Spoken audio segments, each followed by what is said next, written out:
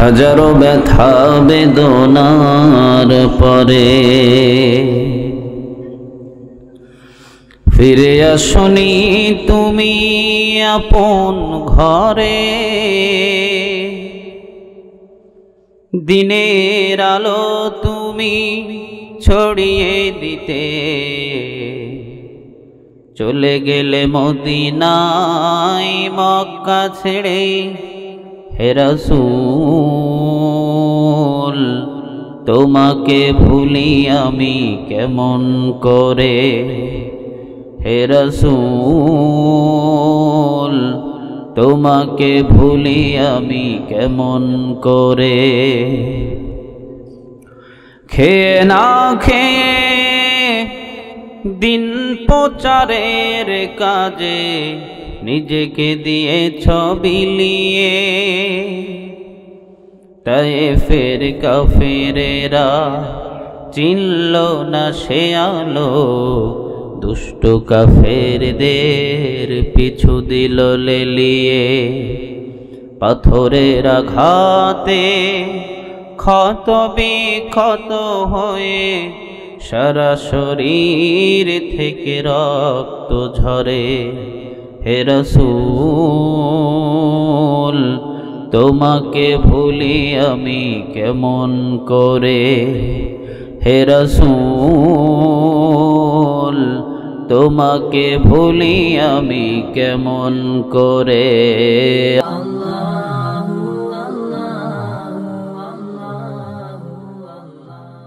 কেমন দামি নবী, যিনি হা বললে হালাল হয়ে যায়। না বললে হারাম হয়ে যায়। আঙ্গুল যদি উঁচু করে চন্দ্রটা দুই টুকরা হয়ে যায়।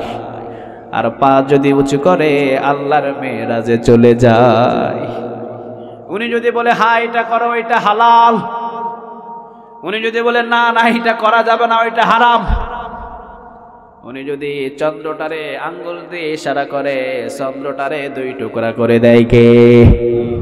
পা যদি উঁচু করে আল্লাহর মেয়েরাজে নিয়ে যায় কে? কেমন নবী তিনি? জীবনে শুধু কষ্ট পাইছে, শুধু কষ্ট আর কষ্ট। সুখ আর শান্তি কোনোদিন পাই নাই চিল্লাবেন আল্লাহ আকবার।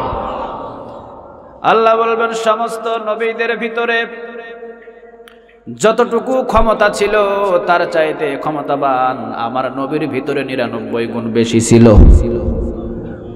আমার নবী যদি ইচ্ছা করতো, হুদ পাহাড়টা আমি তার জন্য স্বর্ণের বানিয়ে দিতাম। কিন্তু এমন নবী ছিল, দুই চার দিন না খেয়েও দিন কাটিয়েছে। হজরত অমর বিশ্বনবীজির দরজায় দাঁড়ালেন। বিশ্বনবীজির দরজায় দাঁড়ানোর পর বাচ্চা ছেলের মতো কান্না শুরু করছে। বিশ্বনবীজি বললেন অমর তুমি কান্দো কেন? অমর বললেন ইয়ারসোল্লাহ কত কাফের, কত সুখ শান্তি করল। কিন্তু আপনি যেই খাটিয়ার উপরে শুয়ে আছেন, পুরাতন খাটিয়ার উপরে, একটা চাদর, একটা তোষক, একটা বালিশ পর্যন্ত আপনার ঘরে নাই। আপনি যে খাটের উপরে শুয়ে আছেন, এই যে দেখেন আপনার পিঠের উপরে রশির দাগ উঠে গেছে, আপনার ঘরের ভিতরে একটা বালিশ নাই। দিনের পর দিন, রাতের পর রাত, মাথার নিচে হাত দিয়ে বিশ্বনবীজি ঘুমাতে। দামি একটা তোষক নাই, ঘরের ভেতরে দামি একটা সোফা নাই, পানির একটা মশাক, ওইদিকে একটা জাতা, ওইদিকে একটা গ্লাস, পুরাতন একটা খেজুরের রশিয়ার একটা খাটিয়া। একটাই মাত্র জামা, কয়টা জামা? কথা কন না কেন? ব্যবহার করতেন একটা জামা। হজরত আইসা বলতেন, দুঃখ করে, আমার নবীর এমন একটা জামা ছিল না যে আমি তা করে রেখে দেব। অনুষ্ঠানে যাওয়ার সময় নতুন জামা পরে যাবে, এমন কোনো জামা ছিল না। সারা জীবন শুধু দিয়ে গেছেন নেন নাই কিছু, ঠিক না ঠিক? সারা জীবন দিয়ে গেলেন, ঘরের ভিতরে কোনো ফার্নিচার নাই, ঘরের ভেতরে কোনো দামি চেয়ার নাই। দুনিয়ার ভেতরে, ঘরের ভেতরে কোনো দামি দামি সোফা নাই। আল্লাহ বলবেন, অনেক কষ্ট করছে আমার নবী। এই জন্য আমি আজকে এই মাহফিলের ভেতরে দামি চেয়ারে আমার হাবিবকে আমি বসাবো। কেমন নবী তিনি? সারা জীবন শুধু দিয়ে গেছেন, নেন নাই কিছু। আল্লাহ আকবার। বাহারান থেকে, কাতার থেকে, মিশর থেকে, চতুর্দিক থেকে মসজিদে নববীর সামনে অনেক মাল এসে জমা হলো, উট হলো। এরপরে ডুম্বা এলো, চাল এলো, গম এলো, খাবার আর খাবার। বিশ্বনবীজি ফজর নামাজ পড়ে সব গরিবদেরকে খবর দিলেন। গরিবরা আসলো বিশ্বনবীজি বিতরণ করা শুরু করলেন। দিতে দিতে দিতে দিতে জোহরের নামাজ জোহরের নামাজ পড়ে আবার বিশ্বনবীজি দেওয়া শুরু করলেন। জোহরের নামাজ পড়ে যখন দেওয়া শুরু করলেন, ফকির মিসকিনদেরকে দিতে দিতে সময় হয়ে গেল আসরের নামাজ। এইবার আসর নামাজ পড়ে বিশ্বনবী জামাটার একটু ঝাড়া দিলেন। চলে গেলেন আইসার ঘরে, কার ঘরে? সারা দিন বিশ্বনবীজি চালের বস্তা বিতরণ করলেন, গমের বস্তা বিতরণ করলেন উঠ বিতরণ করলেন, ডুম্বা বিতরণ করলেন। খাবার বিতরণ করে আইসার ঘরে গিয়ে দস্তরখানা বিছিয়ে প্লেটটা সামনে নিয়ে আইসারে বলছেন আইসা খুব পরিশ্রম হয়েছে রে আয়সা ঘরের ভিতরে কি খাবার আছে আমারে খাবার দে। আইসা এক গ্লাস পানি নিয়ে বলছেন, ইয়া রাসূলুল্লাহ, সারাদিন আপনি খাবার বিতরণ করলেন আইসার ঘরে পানি ছাড়া দ্বিতীয় তো কোনো খাবার নাই। কেমন নেতা ছিলেন? কেমন নেতা ছিলেন? সারা জীবন শুধু মানুষদেরকে দিয়ে গেছেন, নেন নাই কিছু, ঠিক না ঠিক? আর আমাদের বাংলাদেশে যদি এক ট্রাক গম আসে, পঁচিশ বস্তা গম আগে নিজের গোডাউনে ঢুকিয়ে দেয়। কি নেতা ছিলেন? এই জন্য আল্লাহ রাব্বুল আলামিন বলবে, খবরদার, ওই চেয়ারের দিকে তোরা নজর করবি না। চেয়ারের দিকে তাকাবি না। আজকে যত কষ্ট তেষট্টি বছর জিন্দগিতে আমার নবী দুনিয়াতে বসে করেছে, এত কষ্ট কিন্তু কোনো নবী করে নাই। আরে মিয়া তাইফের ময়দানে বিশ্ব নবীজির যত রক্ত ঝরেছে, জীবন্ত ভোর কোন নবীর এত রক্ত ঝরে নাই, চিল্লা বলেন, ঠিক না তাইফের ময়দানের কষ্ট যদি বিতরণ করে দেওয়া হয়, সব নবীদের চাইতে, কষ্টের চাইতে বিশ্ব নবীজির কষ্টটা ওজন হয়ে যাবে। আল্লাহ সেই দিন সম্মান দিবে। বলবে, খবরদার, আমার নবীর চেহারার দিকে তাকাতেও পারবে না। আমার নবীর চেয়ারের দিকে বসতেও পারবে না, তাকাতেও পারবে না। সম্মান দিয়েছে আমি আল্লাহ। এই সম্মান কেয়ামতের ময়দানে দান করবেন কে? এরপরে হলো অন্যান্য নবীদের চেয়ার থাকবে। বানি ইসরায়েলের নবীদেরকে এক লাইনে বসানো হবে। বানি ইসরায়েলের সমস্ত নবীরা চেয়ারের উপরে বসবে। তবে তাদের চেয়ারও হবে সুন্দর। স্মরণের চেয়ার, মাঝে মাঝে কিছু চেয়ার খালি থাকবে সুবহান আল্লাহ বলে বানি ইসরায়েলের মুসা আলাইসালাম অনস্ত নবীগুলো সেই চেয়ারগুলোতে বসে থাকবে। হজরত ওমরও গিয়ে চেয়ারে বসতে চাইবে। বানি ইসরায়েলের একজন নবী বলবে, অমর, তুমি তো নবী নয়, নবীদের চেয়ারে বসতে আইছো কেন আল্লাহ বলবে, খবরদার, একটা কথাও বলবি না, আমার অমর বানি ইসরায়েলের নবীর চাইতে কোনো অংশে কম না। বিশ্ব নবীজি বলতেন লাউকানা নাবিয়্যুম মিন বাদি লাকানা অমর। আমার পরে তো কোনো নবী দুনিয়াতে আসবে না, আমার পরে তো কোনো নবী হবে না।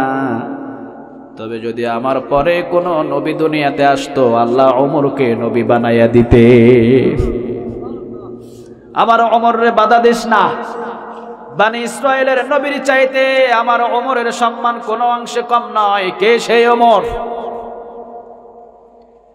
জীবনে কোনোদিন ইসলাম গ্রহণ করার পর দুর্নীতি করে নাই। জীবনে কোনোদিন ইসলাম গ্রহণ করার পর ইসলামের বিরোধিতা কখনো দেখতে পারে নাই। ইসলাম নিয়ে কেউ বাদরামি করেছে অমর তার দান রাখে নাই, ঠিক না বেঠে বিশ্ব নবীজির বিচার মানে নাই, চলে গেলেন হজরতে আবু বকরের কাছে। গিয়ে বললেন, আবু বকর, দেখেন, বিশ্ব নবীজি বিচার করেছে, বিচার পছন্দ হয় নাই। আপনি বিচারের স্থানীটা করে দেন। হজরত আবু বকর বললেন, বিশ্ব নবীজি এই বিচার করে বিচারের স্থানে আমি আবু বকরের মতো লোক করতে পারবে না। চলে গেলেন হজরত অমরের কাছে। অমরের কাছে যাওয়ার পর বললেন, অমর, আপনি বিচারের স্থানীটা করে দেন। হজরতে অমর বললেন, বিচারের স্থানী, অর্থাৎ বিচার প্রথম করছে কে? বললেন, বলে করেছেন মোহাম্মদ সাল্লাল্লাহু হজরত অমর বললেন, তোমার কি বিচার পছন্দ হয় নাই, কয় না? আবার বললেন, পছন্দ হয় নাই? কয়, না। অমর বললেন, বিচার করতে হলে আমাকে ঘরের ভিতরে যাইতে হবে। কোন ভিতরে? কথা কন না জ্ঞান ঘরের ভিতরে যেতে হবে আমাকে। হজরত অমর ঘরের ভিতরে গেলেন, গোলাপ ফুলের একটা মালা এনে তার গলায় পরাই দিলেন, নাকি? কথা কন না জ্ঞান হজরত অমর ঘরের ভিতরে যে নেচে একটা তরবারি আনলেন, আনার পর বললেন, বিশ্ব বিশ্বনবীর বিচারে যে মানে না।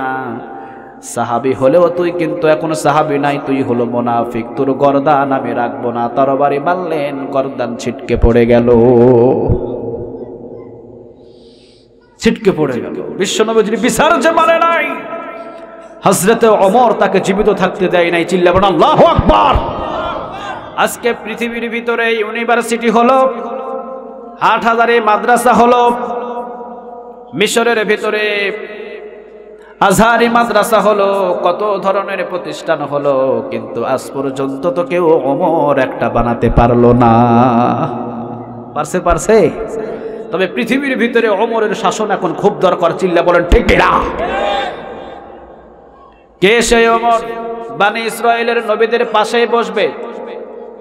তিনি এমন অমর মদিনার ভিতরে ঘুমাতেন, কিন্তু রাতের বেলা কে কোন সময় কখন কোন স্বপ্ন দেখতো? অমরের কাছে খবর চলে আসতো।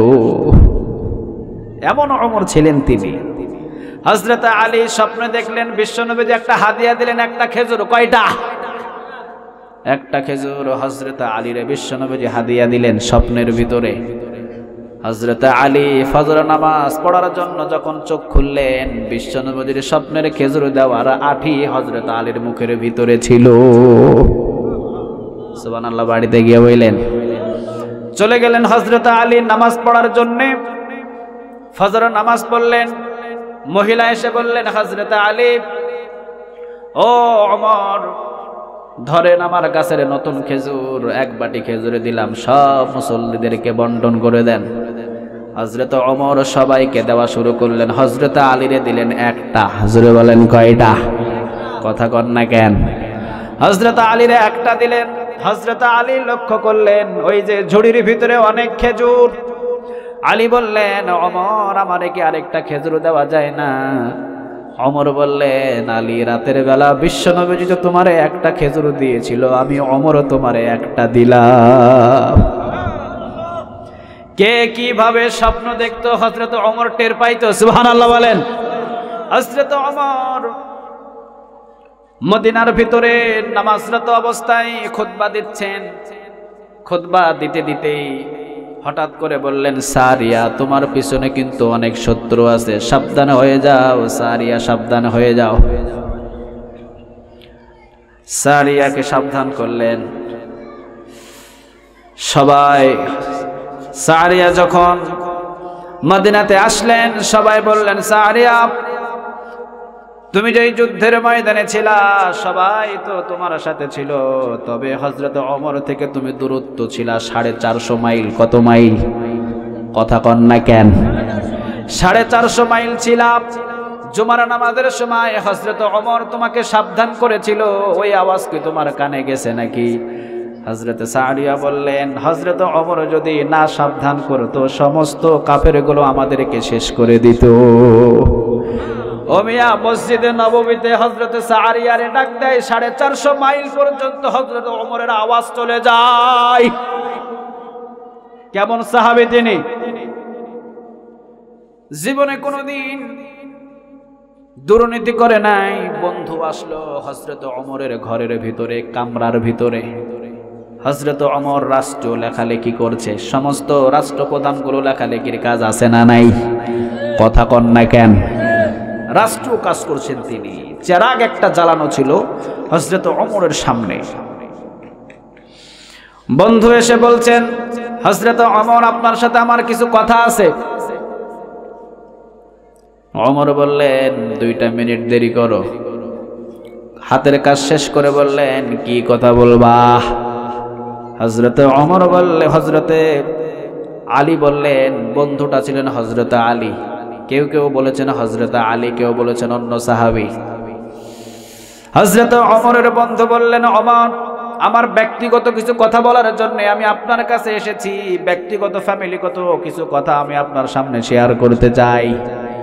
হজরত অমরের সামনে যে চারাক ছিল, বাতি ছিল, ফুট করে ফু দিয়ে বাতিটারে নিভাইয়া দিলে। বন্ধু বলল অমর আপনার ঘরে এসেছি।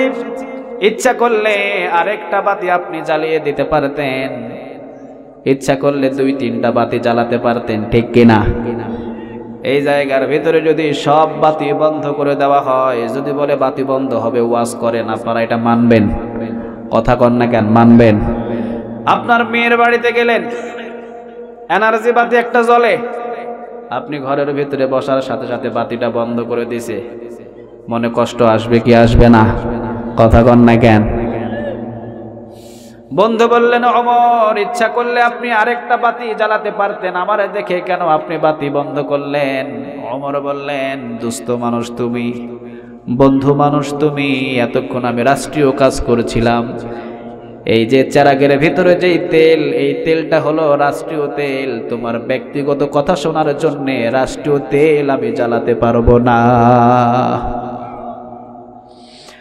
আজকে যদি আমি রাষ্ট্রীয় তেল চালিয়ে তোমার ব্যক্তিগত কথা শুনি, কিয়ামতের দিন আল্লাহ রাব্বুল আলামিন আমাকে যদি ধরে, সেই দিন তো আমি অমর সেই দিন জবাব দিতে পারব না।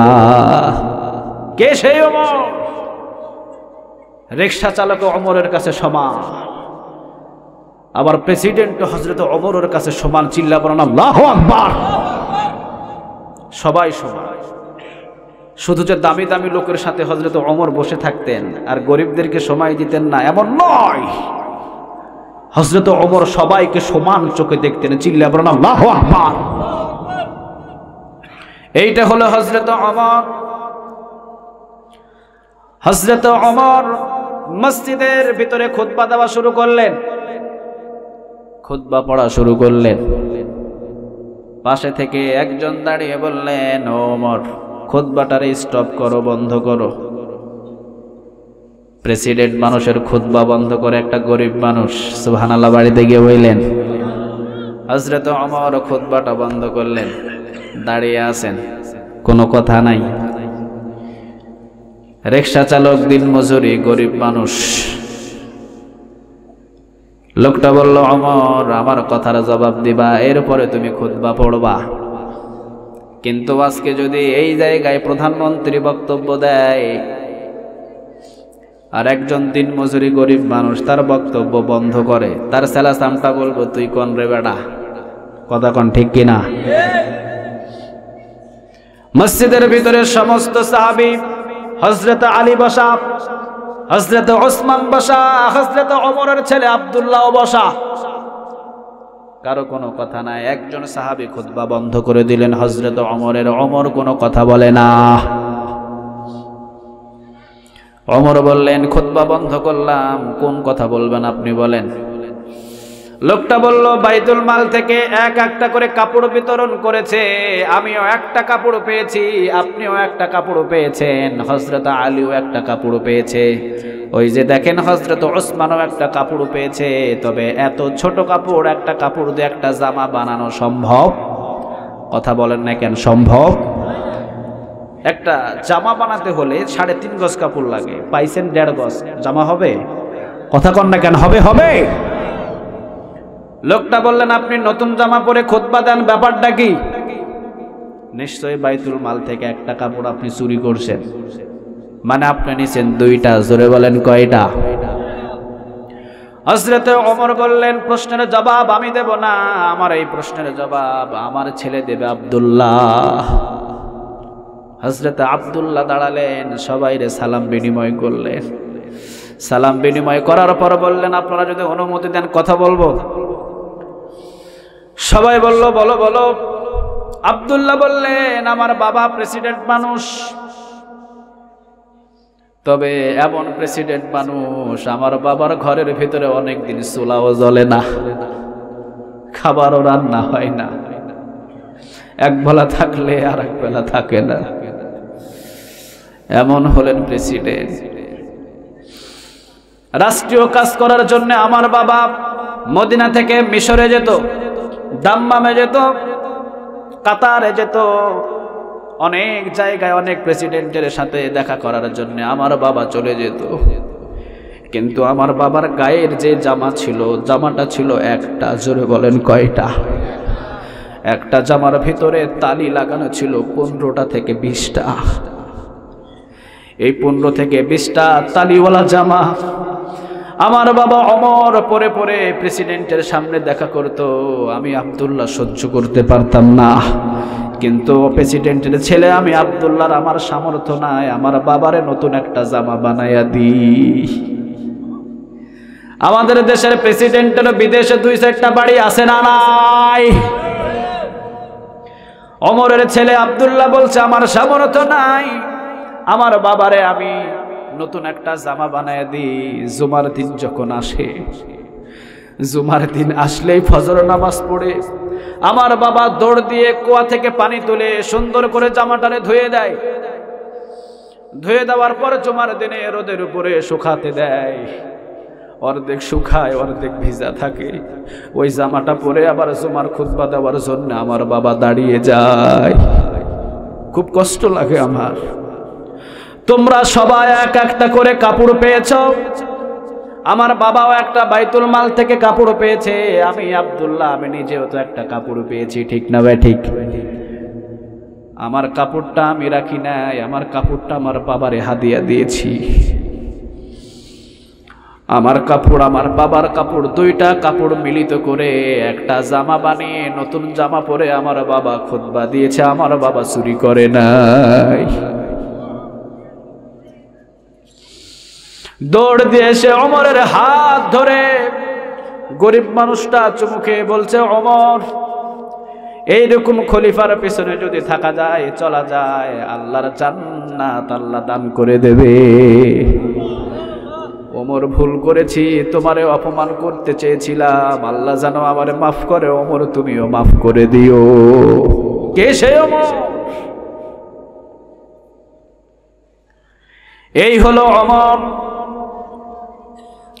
যার স্থান আল্লাহ রাব্বুল আলামিন বানি ইসরায়েলের নবীদের সাথে তারে বসায়া দেবে। শুধু অমরকে বসাবেন তা না হজরত আবু বকরকেও বসাবেন হজরত আলীরেও বসাবেন। সমস্ত সাহাবিদেরকে বানি ইসরায়েলের নবীদের কাতারে কাতারে বসায়া দেবে।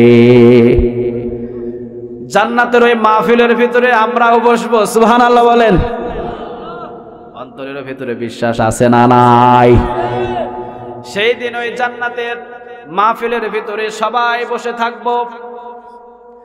আল্লাহ রাব্বুল আলামিন বলবেন, বান্দা, আমি যা যা ওয়াদা করেছিলাম, সব ওয়াদা কি পূরণ করছি নাকি?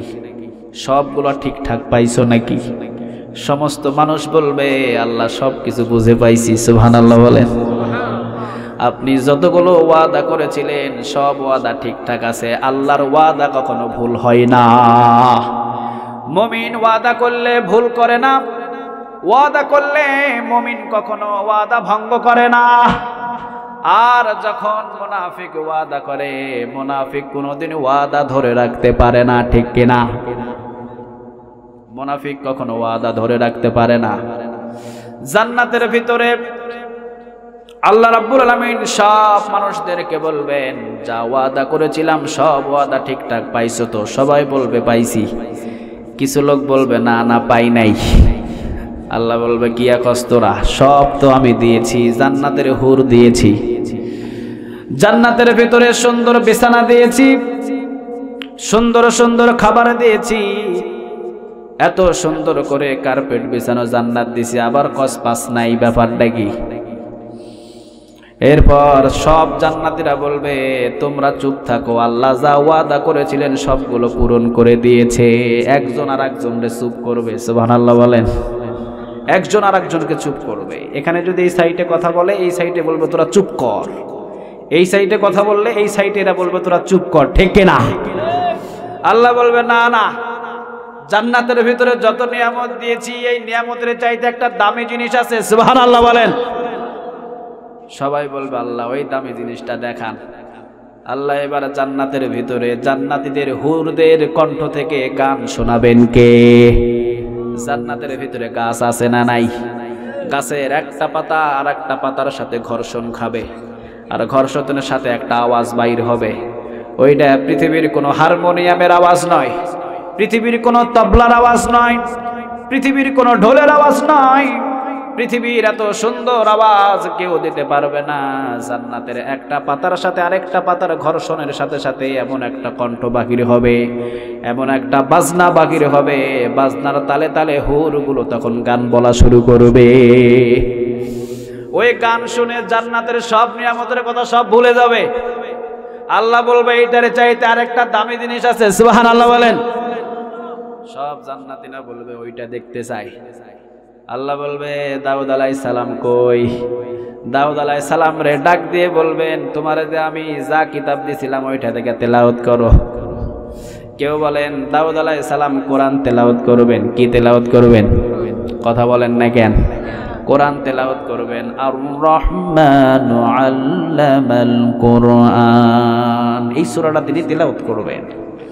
এত সুন্দর তার কণ্ঠ দিয়েছিলেন আল্লাহ। তিনি যখন সমুদ্রের ভিতরে তেলাওত করতেন, অর্থাৎ তখন তার কাপ তেলাওত অর্থাৎ জাবুর যখন তিনি ছন্দগুলো তেলাওত করতেন, সমস্ত মাছ সমুদ্রগুলো ছেড়ে দিয়ে খালে বিলের ভিতরে চলে এসে তার তেলাওত সুন্দর চিল্লা বলেন আল্লাহ আকবার! এত সুন্দর কণ্ঠ ছিল তার। তিনি ছড়া গাইতেন, তাকে ছড়া দিয়েছিলেন ইব্রানি ভাষায়। কোন ভাষায়? ছড়া দেওয়া ছিল তাকে। এত সুন্দর কণ্ঠ দিয়েছিলেন আল্লাহ, তবে বিশ্বনবীদের চাইতে কণ্ঠর সুন্দর বেশি না কম? কথা বলেন না কেন? ওইদিকে মাছ পাগল হয়ে আসতো। এইদিকে বিশ্বনবীজি যখন বিশ্বনবীজির ঘরে কোরআন তেলাওত করতেন, সারাদিন আবু জেহেল বিপক্ষে কাজ করত। বিশ্বনবীজির কোরআন তেলাওত না শুনলে আবু জেহেলের ঘুম আসতো না। কত সুন্দর তেলাওত ছিল আমার নবীর, সুবহানাল্লাহ বলেন। দাউদ আলাইহিস সালাম তেলাওয়াত করবেন। সূরা আর রহমান সবাই পাগল হয়ে যাবে। দাউদ আলাইহিস সালামের দিকে তাকিয়ে থাকবে। আল্লাহ রাব্বুল আলামিন বলবে টাস্কিলাই গোনা, আমি আল্লাহ রাব্বুল আলামিন। এর চাইতে দামি একটা জিনিস রাখছি। সুবান আল্লাহ বলেন। এইবার বলবে, আল্লাহ, ওইটা আবার কি? আল্লাহ রাব্বুল আলামিন বলবেন, আমার নবী কই? আপনি কোথায়? আপনি একটু তেলাওয়াত করে এই বান্দাদেরকে শোনান না কে আপনি একটু তেলাওয়াত করেন না। বিশ্বনবী তেলাওয়াত করবে, ইয়াসিন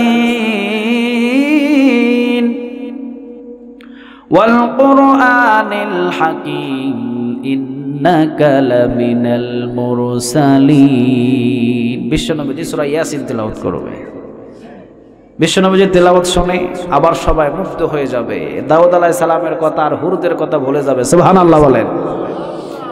এইবার আল্লাহ বলবে, সব কিছু ঠিকঠাক পাইছো তো, বুঝছ তো, আর দামি কিছু জিনিস নাই। বিশ্ব নবীজি বলবেন, না, এইটারে চাইতো দামি একটা জিনিস আছে। আল্লাহ বলবেন, হাবিব, আপনি আবার প্যাঁচ লাগান কেন? ওইটা আবার কি জিনিস? বিশ্ব নবীজি বলবেন, আল্লাহ, জান্নাতের ভিতরে আপনি নাকি বান্দাদের সামনে দেখা দিবেন, এখন দেখা দেন না কে